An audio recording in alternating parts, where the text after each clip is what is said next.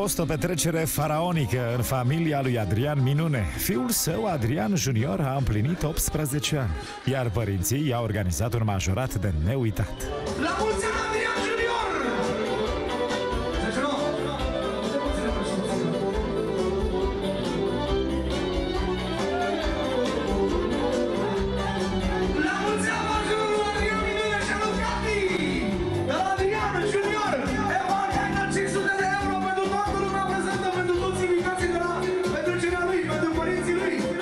Locația aleasă a fost de 5 stele, la un local de pe șoseaua Nordului, iar puterea financiară a invitaților a fost lesne de ghicit după mașinile din parcarea restaurantului. La loc de cinste, trona autoturismul primit cadou de Adrian Junior din partea părinților. Dar să aflăm care sunt primele impresii de bărbat matur ale fiului lui Adrian Minune. De cât timp uh, pregătesc uh, părinții tăi această petrecere? Vreți să zic sincer? Sincer, da. Da, la alteri. Ah, scurt așa. Scurt, foarte din scurt. Am schimbat vreo patru locații până acum. Și de acum încolo o să fii pe picioarele tale. Dar normal, sunt pe picioarele mele de la 11 ani. Eu de la 11 ani de la, nu, nu mai cer de la tata un leu. Așa m-am învățat de mic, să mor. Asta a fost educația financiară pe care am primit-o. A fost decât educația financiară și mersul pe stradă școala veții. Pe partea cealaltă cu școala și cu să-ți dai așa, nu știu, să-ți dai interesul pentru un lucru a fost mama Cati. Da, ai uh, început școala de șoferi, ai primit și o mașină foarte, foarte frumoasă. Am primit și o mașină foarte frumoasă, am început și școala de șoferi.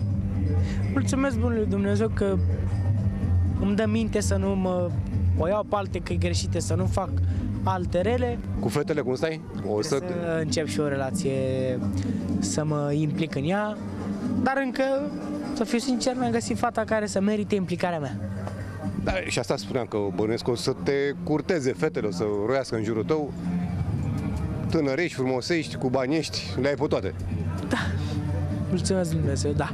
Copleșită de emoții au fost soția lui Adrian Minune, Cati, și fiica lor, Carmen, care nu și-au putut stăpâni lacrimile.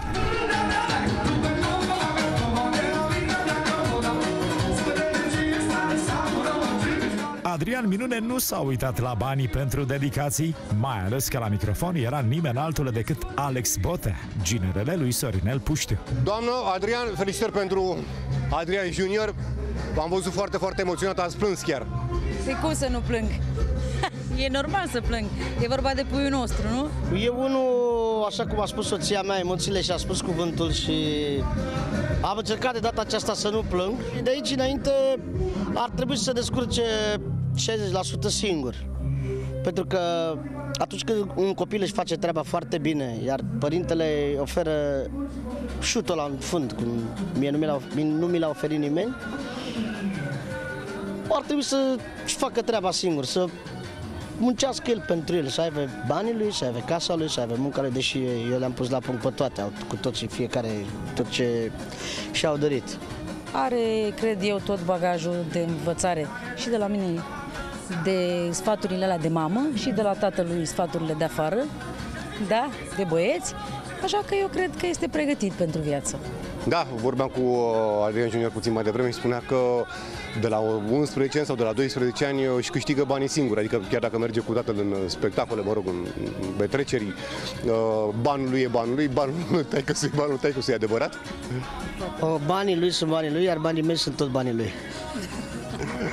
Da, Da, Horațiu, băiatul nostru muncește de la 9 ani. De la 9 ani venea cu degețelele acasă cu La, vășicuțe. la, la 10 ani a fost la Antena Star.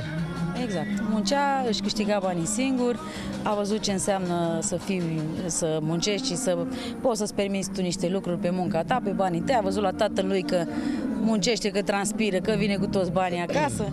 A avut ce să învețe. Și acum eu zic că e- el are tot ce Eu îmi doresc, uh, iartă-mă iubire că am intrat peste tine, deși mie îmi place să intru peste tine. Uh, mi-aș dori să ajungă la vârsta mea și să facă și el același lucru care l-a făcut tatăl lui. Tatăl lui. Eu uh, să merită soția mea, dacă m-aș mai naște odată, aș fi făcut uh, la fel și aș face la fel. Dar mi-aș dori ca băiatul meu la vârsta de 50 de ani, când eu nu o să mai fiu, uh, să și vadă visul împlinit, așa cum a zis soția mea, Cum l-am văzut noi. să și să uite la băiatul lui când face majorat. Da, și acum văd uh, urme de lacrimi în ochii dumneavoastră, doamnă. Lacrimi o să am toată viața pentru el. Pentru că Gata, este suficient. viața Vă mea. pup. Maria Constantin și Robert Stoica au venit direct la majorat după ce s-au căsătorit la starea civilă. 25 uh, iulie 2023, o dată memorabilă. Casă de piatră. Mulțumim, mulțumim tare mult! Mulțumim! Uite, intră și tocul prin podea. Robert, cum a venit? Uh, da? Uh, Din suflet, chiar a venit din suflet, da. Să știi că a fost uh, chiar convins când a zis. nu, Și emoționat. nu mă așteptam la treaba asta, să fie așa convins. E, după atâția ani de relație, e normal că... Nu, glumeam, glum- uh, glumeam. Uh, Să știi că uh, cumva am zis că nu o să am emoții, mai ales că uh, nu ne-am pregătit așa sufletește, adică eu azi noapte uh, călcam hainele, lucruri de genul făceam, uh, dar uh, cumva am avut emoții când a venit momentul ăla să spun da, adică fără să vreau, am, am avut emoții. Nașu, hai veniți încoa, Nașa! Sărut mâinile! Săruna nașa! Bună seara! Nașii vă pot spune mai multe decât de emoționați am fost noi. Ați ajutat-o pe doamna Maria Constantin să-și aleagă ținuta de, pentru cunia civilă?